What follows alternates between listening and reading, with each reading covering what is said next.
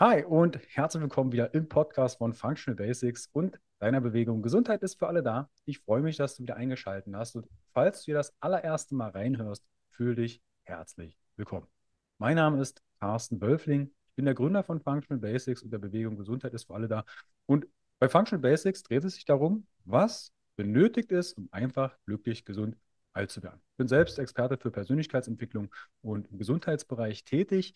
Und hier im Podcast lade ich mir immer wieder tolle Expertinnen und Experten ein, um dir Mehrwert und Impulse an die Hand zu geben, sodass du ein entspannteres, gesünderes Leben hast. Und heute gehen wir in die Schule. Und zwar geht es um das Thema 50 bis 60 Stunden Woche als Lehrkraft. Wie du dein Zeitmanagement verbesserst und dein Stresslevel senkst. Falls du jetzt denkst, warte mal, ich bin doch gar keine Lehrkraft oder ich habe ja gar nichts mit Schule zu tun, nichtsdestotrotz, bleib gerne dran, weil es wird um das Thema Zeitmanagement und Stresslevel senken gehen. Und um das Thema dir bestmöglich darbieten zu können, dazu habe ich mir den Lehrercoach für Zeit- und Stressmanagement Alexander Schmidt eingeladen.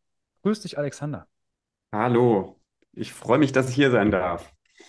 Ich mich auch, weil es sind auch einige Fragen aus der Community gekommen von Menschen, die im Schulwesen zu tun haben, aber auch von Menschen, die sagen, hey, ich habe hier ein bisschen Stress, ich habe hier was mit, ähm, mit der Zeit. Alexander, bevor wir auf die Headline zu sprechen kommen und was es für Tools gibt, wie bist du da zu dem ganzen Thema Schule, Lehrkraft, Zeitmensch gekommen? Du bist ja selbst aktiv Lehrer und Oberstudienrat an der Schule gewesen. Oder bist du Oberstudi Oberstudienrat? Ich bin noch Oberstudienrat, genau, volles Deputat an einem Gymnasium in Frankfurt am Main. Erzähl mal, wie bist du denn zu dem ganzen Thema überhaupt Lehrer werden gekommen? Also meine Ma ist selbst auch Lehrerin. Also ich weiß, äh, habe das kennengelernt äh, als, als Bub, wie das ist, mit Lehrern groß zu werden. Aber wie ist es denn bei dir gewesen? Bei mir war es so, dass ich eigentlich, ja, schon seit, seitdem ich in der neunten Klasse war, wollte ich Lehrer werden. Ich habe festgestellt, dass ich gut äh, Mitschülerinnen und Mitschülern Dinge erklären konnte. Ich war als Judo-Trainer auch tätig. Das heißt, ich habe auch mit jüngeren Kindern in einer Gruppe gearbeitet und habe festgestellt, dieses pädagogische Arbeit macht mir extrem viel Spaß, das Erklären macht mir extrem viel Spaß und meine Fächer machen mir extrem viel Spaß. Es ging dann immer so ein bisschen hin und her, was studiere ich denn jetzt wirklich, weil ich doch sehr vielseitig aufgestellt war, habe mich dann dafür entschieden, die Fächerkombination Mathematik und Latein zu wählen und habe es auch nicht bereut. Mein Lieblingsfach ist Latein, äh, muss ich ganz ehrlich dazu sagen. Da hängt mein Herz wirklich sehr, sehr stark dran.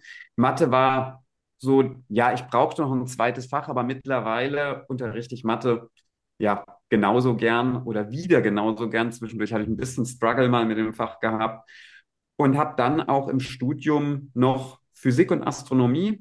Astronomie ist ja in einigen Bundesländern noch ordentliches Lehrfach äh, dazu studiert habe in Rostock studiert als Beifach dann und jetzt habe ich eben eine Vier-Fächer-Qualifikation. Das heißt, du bist sehr breit aufgestellt.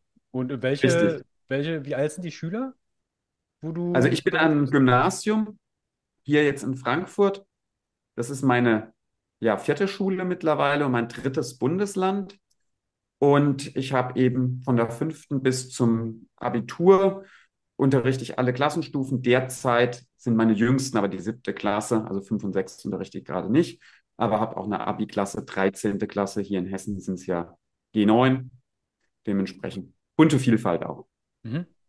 Höre ich aber auch raus, dass du verschiedenste, durch die Altersstufen natürlich auch verschiedene Herausforderungen hast, von Jüngeren, ich nenne es mal Pubertären, bis zu fast Erwachsenen. Und Jetzt hast du ja schon gemeint, du hast verschiedene Schulen durchlaufen, verschiedene Bundesländer. Eine Frage aus der Community war zum Beispiel, welcher, welche Lehrkraft hat es denn, in Anführungsstrichen, am schwersten? Ne, wir haben die Grundschullehrer, die erste Klasse, die mit den ganz kleinen Stiften durch die Gegend rennen. Und dann haben wir Abi zum Beispiel. Oder mhm. wo ist denn so deine Erfahrung oder wie würdest du es einschätzen, welche Lehrkraft hat denn die meisten Herausforderungen im Schulwesen? Das ist eine in der Tat sehr, sehr schwierige Frage, weil ich glaube, die Herausforderungen sehr unterschiedlich sind, dass sie, so dass sie kaum vergleichbar sind. Und mhm. ich würde es mir nicht wagen zu pauschalisieren und zu sagen, der Lehrertyp hat es am schwierigsten. Es kommt sicherlich auch ein bisschen natürlich auf eine Fächerkombination an. Dadurch sind natürlich auch unterschiedliche Herausforderungen, also selbst an einer Schulform.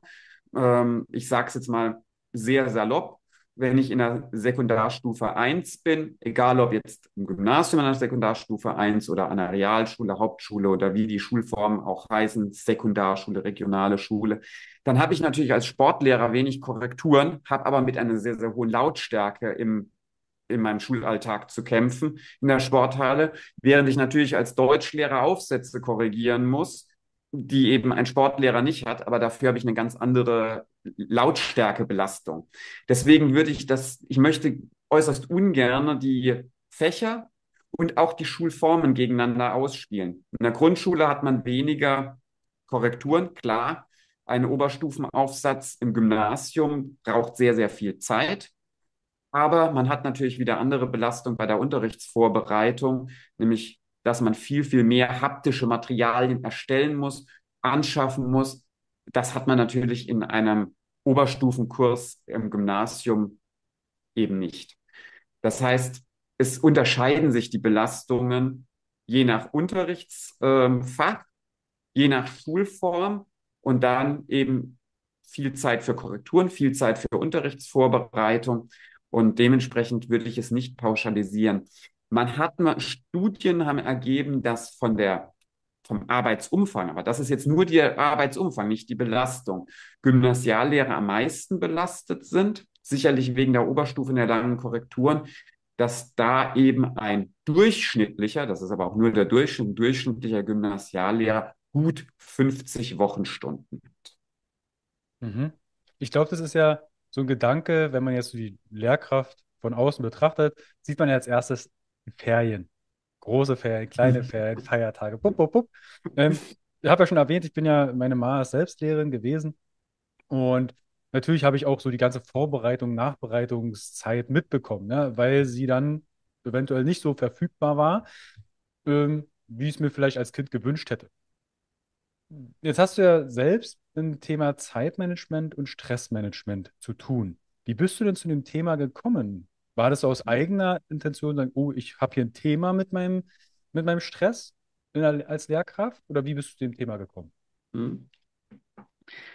Ich bin, jetzt muss ich gerade überlegen, 2020 im Corona-Jahr in die erweiterte Schulleitung gekommen, erst als schulfachlicher Koordinator, dann ein Jahr später als stellvertretender Schulleiter an einem Gymnasium in Wittenberg und habe dann gemerkt, dass natürlich auch durch die Aufgaben, die ich in, als schulfachlicher Koordinator hatte, beziehungsweise dann als stellvertretender Schulleiter, die ja noch umfangreicher waren, gemerkt habe, dass mein Zeitumfang extremst nach oben gegangen ist. Ich hatte schon vorher mal Herausforderungen gehabt, was eben Unterrichtsvorbereitung, Korrekturen anging, aber dass dadurch, dass die Aufgabenvielfalt jetzt größer wurde, also nicht nur Unterricht, Vorbereitung, Korrekturen, sondern auch administrative Aufgaben, die viel, viel größer wurden, ich muss irgendetwas tun, um mich besser zu organisieren. Und habe damals äh, lustigerweise auch in Leipzig, wo du sitzt, ein Coaching gebucht bei einem High-Performance-Coach habe ein dreimonatiges Coaching durchlaufen. Danach hatte ich eine 40-Stunden-Woche, freie Ferien, freie Wochenenden, was für mich vorher völlig utopisch war. Wochenenden musste ich mir wirklich gezielt freinehmen. Ich wusste auch schon, oh, wenn ich mir das Wochenende jetzt freinehme, muss ich entweder das gut organisieren oder es bedeutet Schmerz für mich in der nächsten Woche. Und das war ein Punkt, wo ich gesagt habe, das möchte ich nicht länger haben.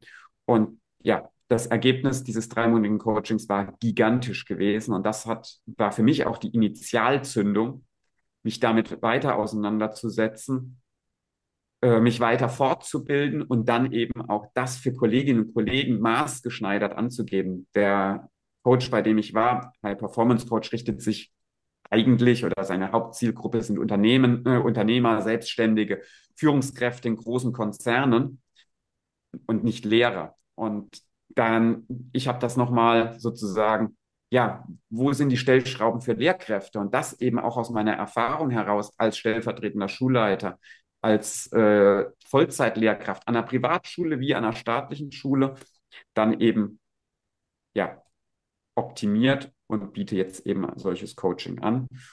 und arbeite hier mit Lehrkräften. Lass uns da vielleicht einmal reingehen, so ein bisschen den Finger in die Wunde legen. Du hast gesagt, ne, du bist in den Schmerz der nächsten Woche rein, hast du ne, mit einem High-Performance-Coach. Was waren Hm. denn für dich so drei Dinge, die sich für dich verändert haben oder welche Dinge hast du dann etabliert, dass du wieder zu mehr Ruhe kommst? Dass wir erstmal diesen Weg gehen und dann schauen wir, was hat sich denn bei den Lehrern jetzt oder was würde sich bei Lehrkräften etablieren? Was hat sich denn bei dir etabliert? Wie bist du entspannter geworden? Hm. Also der Kerndreh- und Angelpunkt eines jeglichen Zeitmanagement-Coachings oder allgemein, wenn man sich mit Zeitmanagement auseinandersetzen muss, ist Struktur und Organisation. Das heißt, dass ich eine klare, geplante Woche habe und weiß, was auf mich zukommt, dass ich Ressourcen habe für Unerwartetes, sei es, dass Probleme in der Schule auftreten, dass private Probleme auftreten, aber auch nur Unerwartetes, was auch Schönes sein kann, dass der beste Freund, die beste Freundin fragt, hey, hast du mal Lust auf ein Bier heute Abend? Und das ist eben der entscheidende Punkt, dass man eine klare, strukturierte Woche hat. Und das erlebe ich bei vielen Lehrkräften. Das war bei mir früher genauso. Ich bin in die Woche reingegangen, habe den Unterricht von Tag zu Tag vorbereitet. Okay, das musst du noch machen, das musst du noch machen. Vielleicht mal von heute auf übermorgen vorbereitet. Aber diese klare Struktur zu sagen, ich plane mir meinen Unterrichts, meine Unterrichtsvorbereitung genauso in einen Stundenplan ein, wie meine Unterrichtsstunden eingeplant sind, das habe ich nicht gemacht. Und das führt zu dieser Kleinschrittigkeit, diesem Fokusverlust und letztlich zu wesentlich mehr Zeit, die man aufwendet. Und dann sitzt man plötzlich wieder abends dort bis spät in die Nacht, weil man sagt, ey, ich muss das jetzt irgendwie noch fertig kriegen und verliert sich in Details. Mhm. Das ist so der, der Kernpunkt.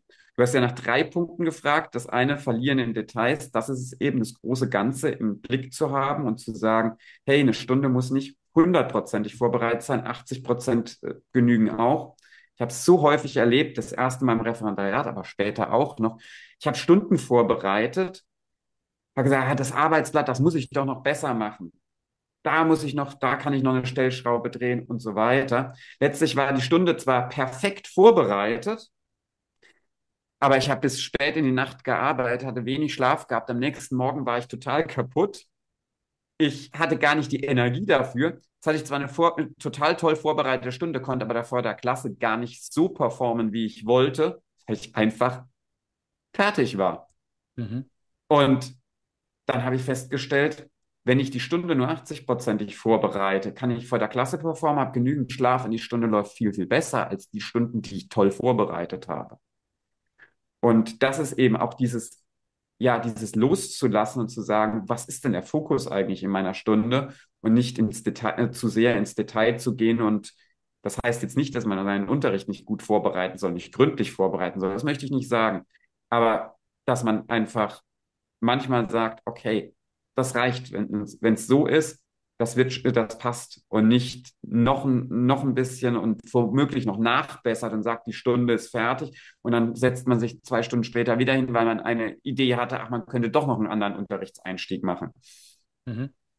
Also ich kenne das mit diesen verlierenden Details, wenn ich Vorträge oder Workshops für Unternehmen vorbereite, im, im Kontext Gesundheit, Stress, also je nachdem, was das Thema gerade ist, da habe ich mich auch oft häufig verloren. Und dann habe ich dann auch bis nachts die Präsentation vorbereitet und konnte dann nächsten Tag, also es haben jetzt die Teilnehmerinnen und Teilnehmer gar nicht gemerkt. Ne? Die wissen ja nicht, okay, wie bin ich auf, mit 100% äh, fit und wie bin ich mit 80% oder 60% fit. Aber ich habe es dann selbst gemerkt, irgendwie, boah, früh ein bisschen so knüllig gewesen. Also auch das, diesen Übertrag auf andere Branchen ist natürlich jetzt möglich. Ich würde gern Struktur und Organisation einmal drauf eingehen. Du hast gesagt, hey, so Vorbereitung, Nachbereitung einplanen. Wie organisierst du denn deine Woche? Denn wie bringst du da Struktur rein? Machst du das digital? Hast du einen analogen Kalender? Wie strukturierst du das? Und was Mhm. kommt alles in deinen Kalender rein? Okay. In meinen Kalender kommt alles rein, was terminlich sozusagen ist. Es ist kei sozusagen keine Lücke in meinem Kalender. Das klingt jetzt erstmal richtig anstrengend, aber das, ich plane mir auch meine Pausen ein und meine Erholungszeiten. Ich nutze einen elektronischen Kalender. Ich persönlich nutze den Google-Kalender. Alle anderen funktionieren auch. Ich habe Erfahrung gemacht, dass er vom Hands-on am besten ist, aber das ist einfach Geschmackssache. Und ich habe für jede Task sozusagen eine eigene Kalenderfarbe. Also das heißt, mein Unterricht hat eine Farbe, dunkelgrün, hellgrün sind dann die Unterrichtsvorbereitungen. Ich habe für administrative Aufgaben als Klassenlehrer habe ich eine Kalenderfarbe. Ich habe dann eben für meine Pausen eine eigene Farbe und so weiter. Und all das plane ich mir gezielt in meinen Kalender ein. Ich weiß am Anfang der Woche ganz genau, wann mache ich die Unterrichtsvorbereitung für welche Klasse. Ich mache sie auch en bloc, das heißt also gerade in Mathe oder Latein, den ich Langfächer habe, also sprich die Klasse mehrmals in der Woche sehe, dass ich nicht sage, ich mache jetzt da die Unterrichtsvorbereitung für diese Stunde und da mache ich für diese Stunde, sondern ich plane mir sie so ein, dass ich dann gleich die vier Wochenstunden komplett durchplane, dass ich nicht wieder anfange. Gegebenenfalls muss man, wenn die Stunde nicht ganz so läuft, wie man sich geplant hat, einmal kurz nachjustieren, aber das ist innerhalb von fünf bis zehn Minuten gemacht. Und das ist der entscheidende Fokus darauf. Und das Schöne ist beim elektronischen Kalender im Gegensatz zu einem analogen Kalender, ich kann Termine verschieben. Und zwar, wenn jetzt unvorhergesehene Sachen kommen, kann ich sagen, okay, ich kann jetzt diesen Task, den ich am Montag eingeplant habe, weil jetzt wirklich was Dringendes ansteht, kann ich auf den Dienstag locker verschieben, ohne dass ich das jetzt im analogen Kalender rausstreichen muss, für Dienstag eintragen muss. Ich verschiebe einfach meine ähm, Einträge im Google-Kalender hin und her. Und ganz wichtig ist, ich plane mir grundsätzlich Puffer ein. Das heißt also zeitlichen Puffer eben für diese unvorhergesehenen Dinge. Ich mache meinen Kalender sonntags abends. Das ist für mich so eine Routine geworden. Äh, sonntags das zu machen, ein Ritual. Äh, viele meiner Coaches machen es auch am Freitag schon, damit sie den Fokus gar nicht mehr am so äh, Samstag, Sonntag auf die Schule oder auf die Woche legen müssen. Das ist aber wirklich Geschmackssache. Aber ich rate es jedem, ein, eine solche Kalenderplanung, wie gesagt, entweder Freitag oder am Wochenende zu machen, um dann eben mit einem fertigen, organisierten Kalender in die Woche zu starten. Du hast davon gemeint, dass du auch zum Beispiel Ressourcen für Freizeit oder Ressourcen für Probleme, ne, also Probleme, mhm. Lehrkraft fällt aus und du musst vielleicht was vertreten, hast eine neue Vorbereitung, aber auch Freizeit, bester Kumpel, beste Freundin melden sich und sagen, hey, hast du heute Lust mal eine Runde äh, Sporteln zu machen oder was trinken zu gehen? Wie planst du denn sowas ein? Ich plane mir zweimal die Woche einen längeren Puffer ein. Da empfehle ich auch, auch unterschiedliche Modelle. Ich mache es zweimal die Woche, mittwochs und äh, freitags. Andere, meine Coaches machen es teilweise auch jeden Tag. Das ist einfach so eine Geschmackssache. Und wenn jetzt zum Beispiel am Montag oder Dienstag jetzt irgendetwas aufploppt. Angenommen, ich habe jetzt äh, dienstags in der Freistunde geplant, dass ich eine Korrektur mache und stelle fest, ich bekomme jetzt eine Vertretungsstunde. Das heißt, ich kann die Korrektur da nicht so machen. Dann verschiebe ich diese Korrektur enden dann auf den Dienstagnachmittag beispielsweise und schiebe ein, eine Aufgabe von Dienstagnachmittag, die ich dort geplant habe, dann in den Mittwoch in diesen in diese Pufferzeit rein. So füllt sich dann nach und nach dieser Puffer, je nachdem, wie viel Unvorhergesehenes kommt. Man hat ja nicht jede Woche Vertretung unbedingt, beziehungsweise es passiert jetzt eigentlich auch nicht jede Woche irgendwelche unvorhergesehenen Tasks, äh, dass man unbedingt jetzt noch ein dringendes Elterngespräch führen muss und so weiter. Aber so kann ich das dann steuern. Und deswegen ist es auch so wichtig, dass man die Aufgaben, wenn etwas mit einem zeitlichen Vorausplanung macht. Weil was nützt mir das, wenn ich am Montag, also am Mittwoch einen Puffer habe und ich habe aber am Montag die Unterrichtsvorbereitung für Dienstag drin. Ja, die kann ich nicht auf Dienstag verschieben, die muss ich ja machen. Deswegen ist es so wichtig, dass man auch im Voraus plant, dass man nicht diese Tasks so hat, dass man die für den nächsten Tag erledigen muss, sondern immer, ich sage immer, mindestens zwei Tage Vorlauf hat, aber am besten sogar noch längeren Vorlauf hat. Das heißt, dass man beispielsweise die Stunden, wenn man Freitag Unterricht hat, dass der schon am Dienstag in der Planung drin steht. Und dann kann man auch locker, wenn am Dienstag wirklich was ist, das noch auf Mittwoch verschieben, hat immer noch zeitlichen Puffer. Mhm. Jetzt haben wir einmal Struktur, ne, dass ich einen Kalender überhaupt führe. Also ich kenne das auch von Freundinnen und Freunden, die haben dann einen analogen Kalender, da stehen Geburtstage drin, dann haben sie noch einen Kalender, wo äh, zum Beispiel wie Ferien, Ferienaktivitäten und ähnliches drinstehen. Und dann haben wir noch einen Kalender, wo Sport und also, also mich würde das schon stressen, wenn ich mehrere Kalender hätte. Also ich habe auch einen, ich habe auch Google-Kalender, Ja. den kannst du auch freigeben, deiner Partnerin, deinem Partner, um zu schauen, okay, wo gibt es denn gemeinsame Lücken, wo man sich dann oder gemeinsame Sachen unterleben kann.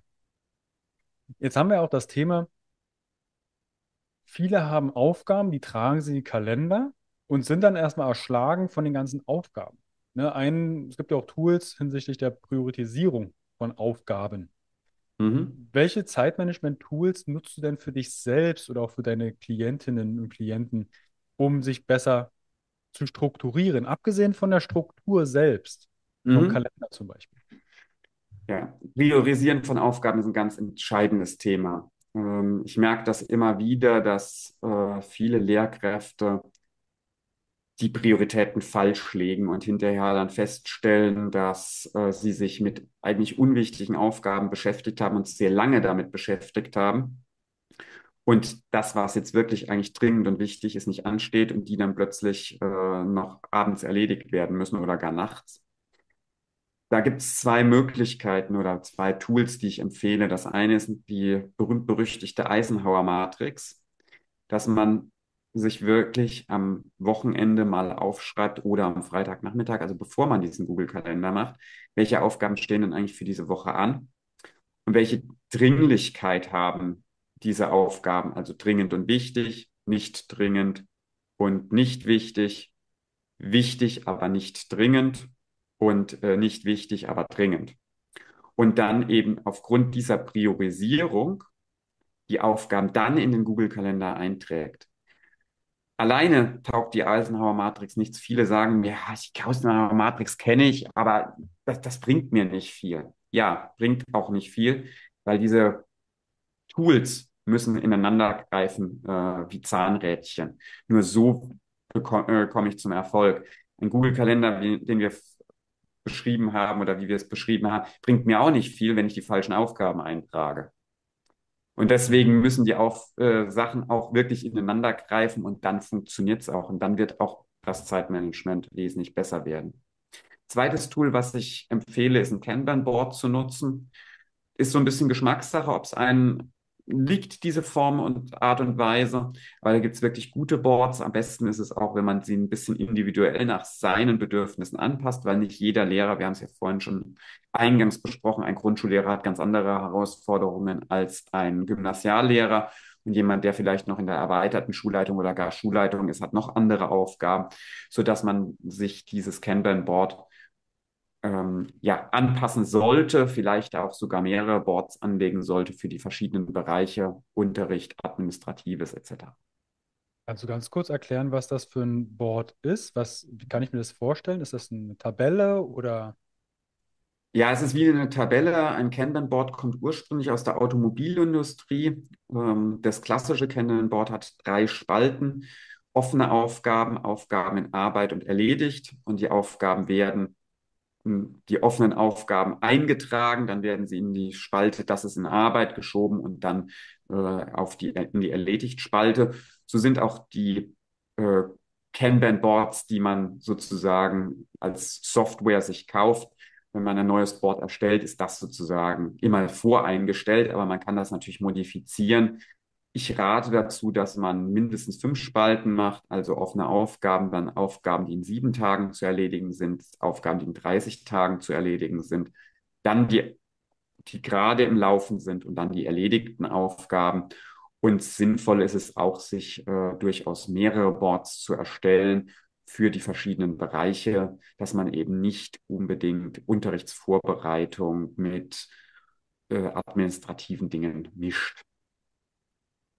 Also mir, mir, ich nutze die auch, die Boards, sei es jetzt in Notion, gerade mit Teams macht, also wenn man in größeren Teams arbeitet, in Projekten Ja, oder ähnliches, dann kannst du ja auch die Leute dort einladen und du siehst, okay, die Person bearbeitet gerade diesen, diesen Punkt. Ne? Auch das Thema Eisenhower-Matrix, Dinge, die ich delegieren, ne? Gerade das Thema Selbstständige, ich muss alles alleine machen, solche Glaubenssätze und Co.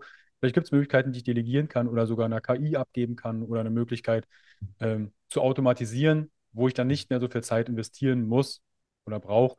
um mich zu managen.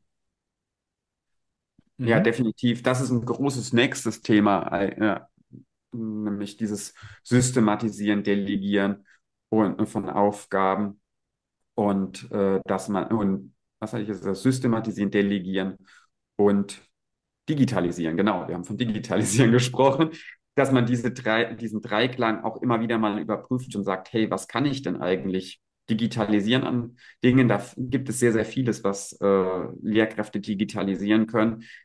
Da muss man sich aber auch mal die Zeit wieder nehmen. Das klingt natürlich jetzt wieder hart, wenn ich nämlich schon am Anschlag bin. Und jetzt soll ich mir auch noch Zeit nehmen, um solche strategischen Planungen zu machen.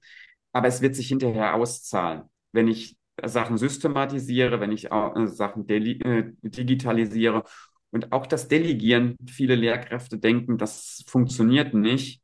Äh, wo, wen soll ich denn delegieren? Also außer die Schulleitung, die nach unten delegiert. Wer, wohin soll man denn delegieren? Doch, es funktioniert.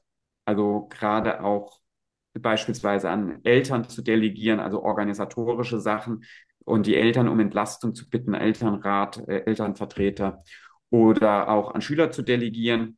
Ähm, viele Dinge kann man äh, auch an Schüler, dass die das untereinander regeln, dass sie selbst zum Beispiel ab einer gewissen Klassenstufe, da sind wir wieder beim Unterschied zwischen Gymnasium und Grundschule, dass sie zum Beispiel einen Schulausflug, die können selbst mal eine E-Mail oder mal anrufen und äh, fragen, wie viel kostet der Eintritt, wir wollen da und da hingehen, ähm, macht uns mal ein Angebot und die Lehrkraft unterschreibt das dann hinterher nur. Das ist zum Beispiel auch eine Möglichkeit, was zu delegieren. Man muss nicht mal alles selber machen.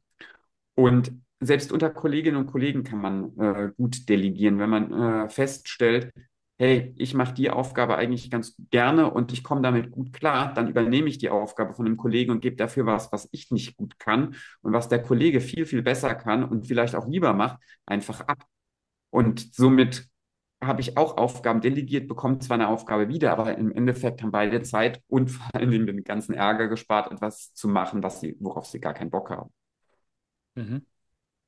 Was sind denn so, abgesehen von der Zeit, du hast vorhin schon die Geräuschkulisse zum Beispiel erwähnt oder Vorbereitung, Nachbereitung. Was sind denn so typische Stressoren, die dich als Lehrkraft betreffen? Ne, du hast ja jetzt von fünfte bis Abi. Was sind Mhm. so Stressoren, abgesehen von der Organisation und von der Struktur, die dich noch stressen? Mhm. Also der größte Stressfaktor in der Schule ist die wenigen Pausen. Denn man geht in der Pause ins Lehrerzimmer, erstens ist dort äh, Lautstärke, weil sich die Leute unterhalten und dann wird man auch ständig angesprochen, dass eben Kollegen von einem was wollen für den kurzen Austausch, für den kurzen Austausch. Letztlich ist dann die Pause weg. Oder eben, dass äh, es dann am Lehrerzimmer Tür klopft und die Schülerinnen und Schüler, die nutzen natürlich die Pausen auch, um die Lehrkraft irgendwie aufzusuchen. Und deswegen ist es so wichtig, dass man äh, ein gutes Mittelmaß findet. Wann möchte ich denn im Lehrerzimmer ansprechbar sein? Wann habe ich auch vielleicht Lust auf Smalltalk? Weil Smalltalk ist keine Erholung, sondern Smalltalk ist schon klar, wir wollen das mal machen, wir wollen auch mit den Kolleginnen und Kollegen im Kontakt bleiben, aber es ist nicht keine Erholung, keine Regeneration. Und dass man sich ganz bewusst in der Woche auch sagt, wann ziehe ich mich denn zurück? Und da gibt es zwei Möglichkeiten. Entweder man geht in einen leeren Klassenraum und setzt sich da in der Pause hin und kommt runter, dann hat man eben wirklich äh, seine Ruhe. Oder was auch eine gute Möglichkeit ist, in den, die naturwissenschaftlichen Vorbereitungsräume. Ich beispielsweise als Physiklehrer setze mich dann durchaus mal in einer Pause in den Physikraum, in den Physikvorbereitungsraum. Oder eben, wenn man ins Lehrerzimmer geht, ist eine Möglichkeit auch mit Kopfhörern zu arbeiten, dass man sagt, ich höre ein bisschen Entspannungsmusik, äh, setze meine Kopfhörer auf und äh, trinke was und esse eine Kleinigkeit. Weil das ist auch für viele Kolleginnen und Kollegen ein gutes Signal. Ich bin jetzt nicht ansprechbar, ich möchte jetzt nicht gestört werden, zumindest auch was den, das Thema Smalltalk angeht. Mhm. Also wir haben zum einen als Stressfaktoren die kurzen Pausen. Also ich kenne das noch so als, gehen wir zurück in meine Schulzeit, die Lehrkräfte sind dann irgendwie über den Gang gehetzt und Mhm. wurden auch von mir oder von anderen Schülern ständig angequatscht und dann waren die schon so, so hektisch. Im Nachhinein kann ich das vollkommen nachvollziehen, ne? Zehn Minuten Pause oder große Pause, die müssen mal auf Toilette, die wollen was essen, trinken. ähm, wollen mal ihre Ruhe haben. Das ist schon, das mit den Kopfhörern, das ist ein, ein guter Tipp, was ja auch auf andere Themen, unabhängig vom, vom Schuldasein, umgesetzt werden kann. Was sind denn noch so Stressoren? Definitiv bei den Kopfhörern wollte ich noch kurz ergänzen, am besten mit Noise Cancelling und noch besser sind Over-Ear-Kopfhörer, weil die sind dann gerade bei Leuten mit längeren Haaren, äh, sieht man die, die kleinen nicht. Und äh, mit den Over-Ear-Kopfhörer ist das äußere Symbol natürlich auch noch viel, viel größer. Es macht wirklich was. Ähm, das haben ja immer wieder, also ich merke es selbst, aber es haben ja auch immer wieder Coaches bestätigt, dass sobald sie die Kopfhörer aufsetzen, sie Ruhe haben. Mhm. Ja, weitere Stressoren sind natürlich die äh, vielen kleinen Aufgaben, die man zu tun hat und da den Überblick zu behalten. Es sind nicht, äh, natürlich sind es auch Korrekturen, Unterrichtsvorbereitungen, aber das sind Dinge, die man ja selbst plant und die ja auch einen größeren Zeitrahmen nehmen. Die kleinen Dinge, so Kleinigkeiten, die man zu erledigen hat, ob das beispielsweise irgendwelche noch Eintragungen im Klassenbuch sind, irgendwelche Fehlstatistiken, ähm, irgendwelche organisatorischen Dinge für irgendeinen Wandertag. Dann ist eine Konferenz, da muss man nochmal irgendwas beim Protokoll nachgucken, irgendwas in die Schülerakte abheften, etc. Es fallen immer wieder so Kleinigkeiten an, die dazu führen, dass man denkt, man hat einen unglaublichen Workload oder man weiß gar nicht, wo man anfangen soll. Und da ist es besonders wichtig, diese Aufgaben, diese kleinen Aufgaben sich zu notieren und dann auch zu systematisieren, dass man Dinge eben zusammenfasst. Beispielsweise sich auch E-Mail-Zeiten einplant und sagt, okay, ich schaue, es reicht eigentlich als Lehrkraft, einmal am Tag in seine E-Mail zu gucken. Also jetzt als normale Lehrkraft, jetzt nicht der, auf der Leitungsebene. Viele Kolleginnen und Kollegen gucken aber ständig rein. Sie gucken dann auch noch abends rein, dann kommt die E-Mail von den Eltern, die sie dann wieder triggert, weil sie vielleicht nicht ganz so nett ist. Und äh, das Wichtige ist, dass man sagt, ich gucke einmal am Tag in meine E-Mails rein. Alles, was schnell abzuarbeiten ist, also so unter zwei bis drei Minuten, wo ja nur Ja, Nein vielleicht geantwortet werden muss, das sofort abzuarbeiten und alles andere dann wieder einzuplanen und zu sagen, okay, wenn jetzt beispielsweise die Elternanfrage kommt, warum, ähm, weil die Bewertung in der Klassenarbeit bei Aufgabe 3 so und so aussieht und nicht so und so, wo man doch vielleicht ein bisschen länger braucht, dann nicht sofort antworten und schon gleich gar nicht am Abend, sondern dann plant man sich das ein, wann ist eine Lücke. Das hat auch noch Zeit. Das muss nicht sofort beantwortet werden. Das kann am nächsten Tag, das kann auch am übernächsten Tag noch beantwortet werden guckt man, wann hat man eine Lücke, wann hat man vielleicht noch weitere solche Tasks, die man abarbeiten muss, E-Mails und plant sich das direkt in seinen Kalender ein. Und das wird dazu führen, dass man auch weniger Stress hat. Ähm, aber genau diese kleinen Anfragen, dass man denen Herr wird sozusagen und dass die nicht irgendwie ja, aufgeschoben und so weiter werden. Ich glaube, dieses Thema Digitalisierung hat ja zum einen seine Vorteile, aber ich kenne das auch von Lehrerinnen und Lehrern, die dann wie eine Art ne, ich bin ja jetzt in Sachsen ähm, ähm, zu Hause, dass die eine App haben und dann gibt es Benachrichtigungen, E-Mail, Vertretungen und, und. Und dann macht das dann 21.30 Uhr, bing, bing, bing. Und dann wird zum Handy gegriffen und dann ist eigentlich die Freizeit vorbei. Dann sind sie ja eigentlich schon wieder im Arbeitsmodus. das sind ja auch alles Minuten und Zeiten, die eigentlich dann sich in die Vorbereitungs- und Nachbereitungszeit und überhaupt in die Stundenanzahl hochbringt. Wie, wie gehst du damit um? Hast du dann Benachrichtigungen abends aus oder es gibt ja auch WhatsApp-Gruppen wahrscheinlich zwischen Lehrern oder Schülern sogar vielleicht, je nachdem, in welchem Alter man unterwegs ist. Wie würdest du damit umgehen? Also WhatsApp-Gruppen mit Schülern würde ich auf jeden Fall nicht machen. Ähm, es ist auch an vielen äh, Schulen verboten oder in vielen Bundesländern verboten. Das ist eine sehr, sehr graue, graue Zone. Äh, grundsätzlich Benachrichtigungen abends ausstellen und klar auch kommunizieren. Manche Schulen machen das auch. In Wittenberg haben mein, Schu mein Schulleiter und ich als Stellvertreter auch ganz klar kommuniziert den Lehrkräften auf der Konferenz, ähm, sie müssen nach 16 Uhr keine E-Mails mehr beantworten. Und das haben wir auch den Elternvertretern oder den, äh, auf der äh, Gesamtkonferenz so gesagt. Lehrkräfte sind nicht verpflichtet, nach 16 Uhr eine E-Mail zu beantworten. Wenn Sie es natürlich machen, dann ist es Ihre Sache. Aber die Eltern können keine Antwort erwarten, wenn sie um 17, 18 oder gar noch später eine E-Mail schreiben, dann müssen sie warten, dass es am nächsten Tag beantwortet wird.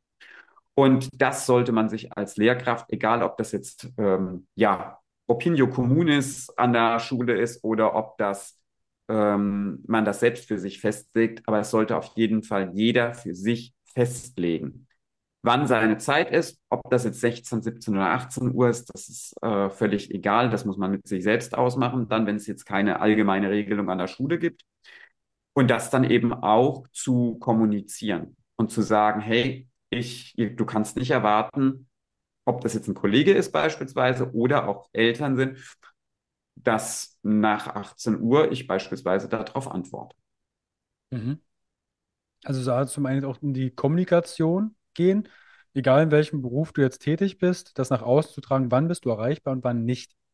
Ich habe viel mit äh, Coaches zu tun und auch da diese Selbstständigkeit, ich bin rund um die Uhr erreichbar, 24 Stunden, siebenmal die Woche WhatsApp-Support und sagt, braucht es das wirklich oder braucht es eine klare Kommunikation, wann du verfügbar bist und wann nicht? Wir sind ja jetzt keine, keine Gruppen, die sich um ihre Klienten rund um die Uhr kümmern. Wir haben auch unsere Zeiten und das zeigt ja auch, dass wir auf uns selbst achten.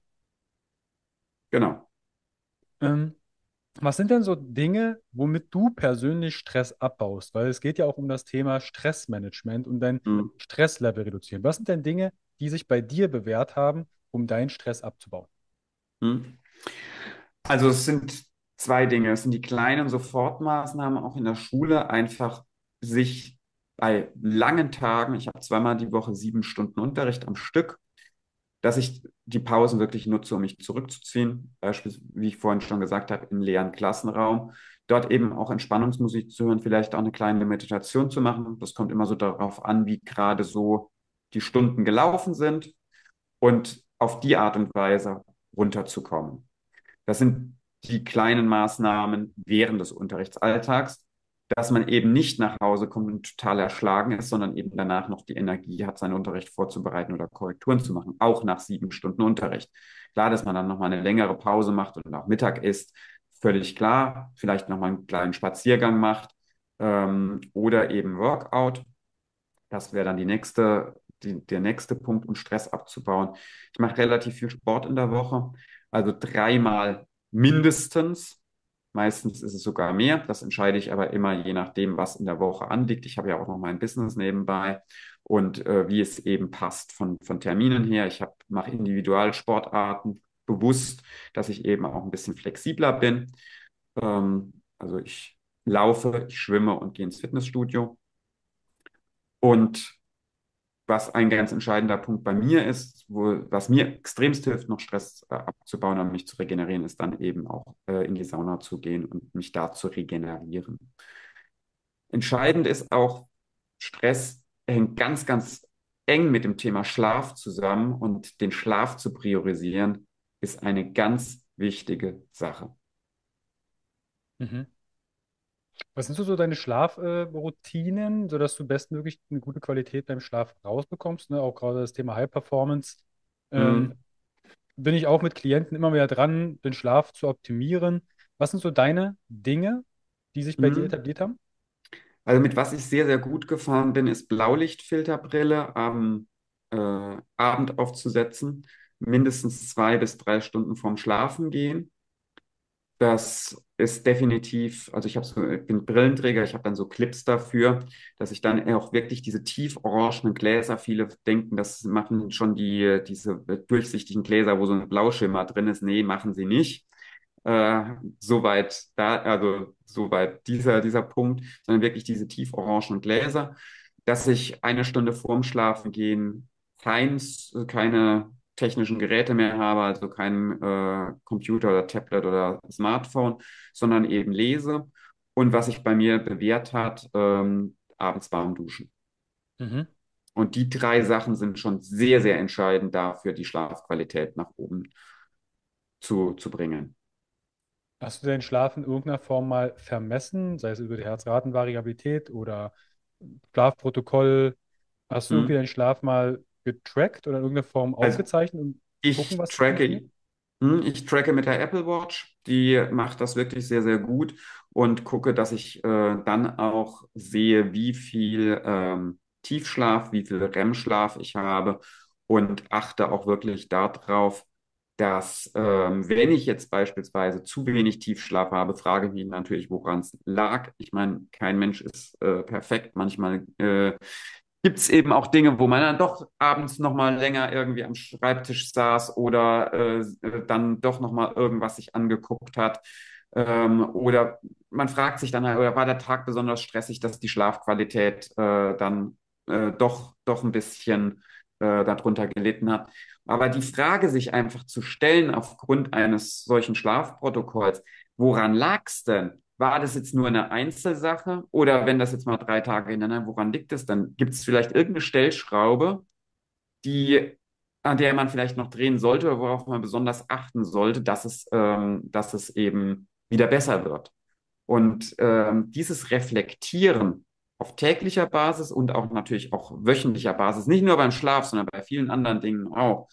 Das ist auch ein ganz entscheidender Punkt, um äh, zum Erfolg zu kommen, dass man immer wieder schaut, wo stehe ich eigentlich, was läuft denn gut, aber wo kann ich mich noch verbessern und wo sind denn meine größten Hebel eben, um jetzt zum guten, erfolgreichen Lehrerleben zu kommen, mit weniger Stress und mehr Zeit für andere Dinge. Mhm. Also nochmal kurz zusammengefasst fürs Thema Schlaf, dass Stress eine große Rolle auch unseren Schlaf spielt und zum Beispiel das Thema Licht, das habe ich schon in verschiedenen Podcast-Folgen auch schon thematisiert, findest du auch in verschiedenen Guides bei mir, das Thema Schlaf, aber Blaulichtfilterbrillen für, für gerade die viel am Computer arbeiten. Ne, du hast ja auch diese blau schimmernden Brillen gemeint.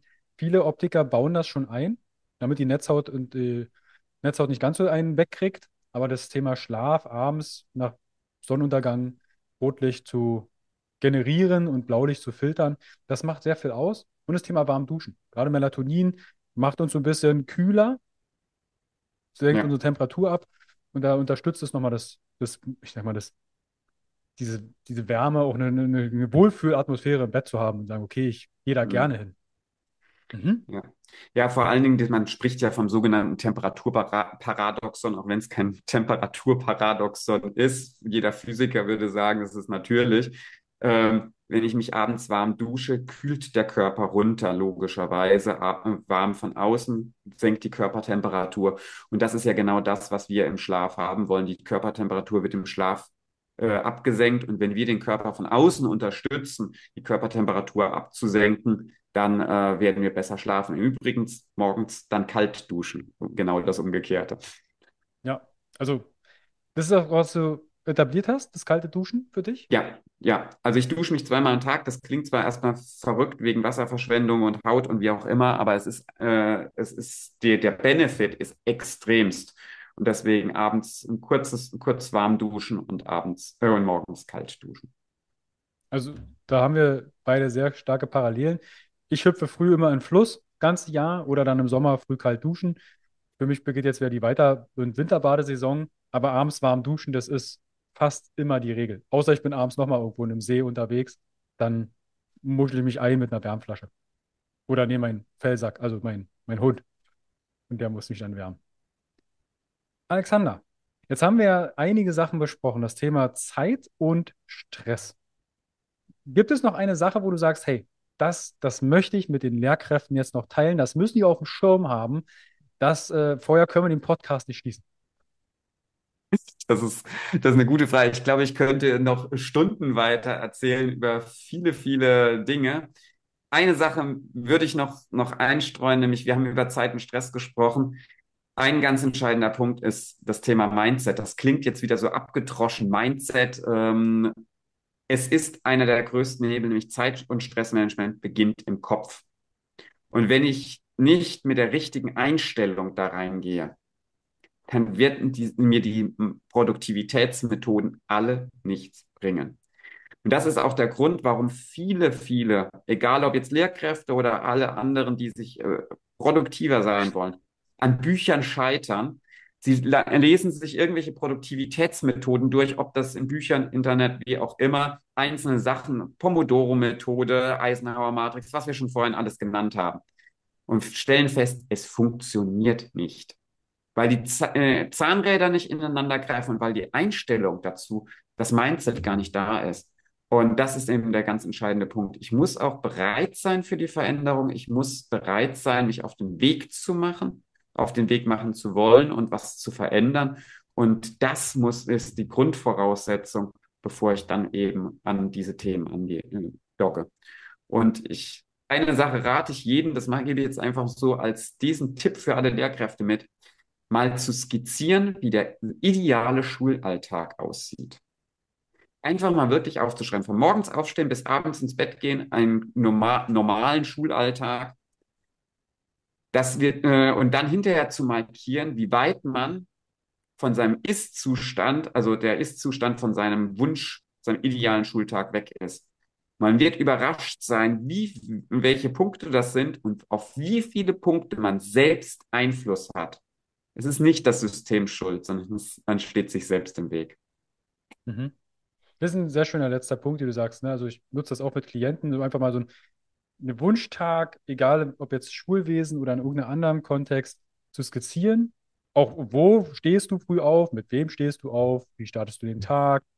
Und dann auch, da haben sie zwei Farbstifte, Rot und Grün. Grün können sie selbst beeinflussen. Rot ist, okay, das ist systemisch oder das ist in irgendeiner Form mhm. vorgegeben. Manche Dinge denken wir sind vorgegeben und merken, okay, habe ich doch mehr Einfluss, als ich dachte. Ähm, ähm, das ist ein sehr schöner, schönes Tool. Mhm. Den idealen Tag. Ich nehme noch einen dritten Farbstift dazu für Lehrerinnen und Lehrer, nämlich die Mitte, nämlich was kann ich mit dem Kollegium verändern? Mhm. Wenn ich mir noch Leute ins Boot hole, nämlich dann kann es, gibt es nochmal mehr Möglichkeiten, was ich verändern kann, ähm, die ich alleine vielleicht nicht hinkriege, aber wenn das die gesamte Schule oder das Kollegium mitzieht, dass es dann funktioniert. Mhm. Cool. Also in der Folge hört ihr auch wieder, ob jetzt für Schulwesen, vielleicht kennst du ja auch eine Lehrkraft und sagst, hey, die wirkt immer so gestresst und hat irgendwie nie Zeit, sich mal zu treffen. Schick der Person diesen Podcast, dieses Interview oder noch besser, Alexander, wenn ich jetzt mit dir zusammenarbeiten möchte und ich möchte da mehr Ruhe in meinen Alltag reinbekommen, dass ich nicht so mit Schmerzen in die nächste Woche starte, wie kann ich denn mit dir Kontakt aufnehmen? Wie würde die Zusammenarbeit ausschauen und wo kann ich mehr über dich erfahren? Mhm. Also, mehr über mich erfahren, erste Anlaufstelle natürlich meine Homepage alexander-schmidt-coach.de. Ansonsten bin ich auch unter den gleichen Namen bei Instagram und äh, LinkedIn unterwegs, also Alexander-Schmidt-Coach bei LinkedIn und bei Instagram sind die Punkte dazwischen. Ähm, dementsprechend, da findet man auch äh, alle nötigen Informationen und ähm, man kann dort eben eine kostenlose Coaching-Session buchen von einer halben Stunde, sodass man einfach mal gucken kann, wie kann ich weiterhelfen, kommen wir zusammen, ohne dass das jetzt irgendeine Verpflichtung mit sich bringt. Und dann kann man gucken, wie sieht dann ein individuelles Coaching eins zu eins eben aus. Das verlinke ich euch natürlich alles in die Show Notes. Klickt euch da gerne durch, wenn ihr mit Alexander Kontakt aufnehmt und ihr seid über den Podcast aufmerksam geworden. Sagt liebe Grüße von Carsten, dann kann er das viel besser noch zuordnen. Wenn ihr auf Social Media unterwegs seid, sei es jetzt LinkedIn oder Instagram, schätzt das wert. Das ist trotzdem Zeit, das ist trotzdem Herzblut, die das reinfließen. Sei es jetzt liken, teilen, einen Kommentar drunter setzen oder auch eine Nachricht schreiben, sagen, hey, Alexander, das hat mir weitergeholfen oder ich habe da diesbezüglich noch Fragen. Das könnt ihr übrigens auch mit dem Podcast machen bei Spotify. Da gibt es eine Kommentarmöglichkeit und da kannst du Fragen stellen oder uns Feedback geben, Anregungen und dann können wir die im Nachgang auch nochmal beantworten, sodass wir da noch mehr Interaktion und gemeinsam an eure Themen arbeiten können. Cool. Alexander, das sind viele, viele ganz kleine Sachen mit, also auch eine Folge, die man definitiv zweimal hören darf, um noch ein paar Sachen rauszuhören. Vielen, vielen Dank für deine Zeit und deine Expertise und äh, dass du, ich sag's mal so, die Lehrkräfte entspannter machst. Das hat ja weitreichende Folgen, auch für die Schülerinnen und Schüler, für die Eltern, für alles. Also total cooles ähm, Angebot, was du da zusammengestellt hast. Ja, vielen Dank, dass ich hier sein durfte und das auch hier so präsentieren durfte. Sehr, sehr gern. Wenn ihr Fragen habt, nutzt Spotify, nehmt mit Alexander Kontakt auf oder mit mir.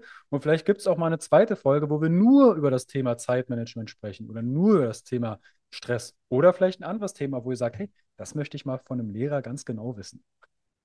In dem Sinne, Alexander, vielen lieben Dank für deine Zeit und alle, die zugehört haben und noch dran sind, gerne abonnieren und dann auch bewerten bei Spotify und iTunes. In dem Sinne, habt einen wunderschönen Tag und wir hören uns bald wieder. Bis dahin. Ciao, Alexander. Ciao.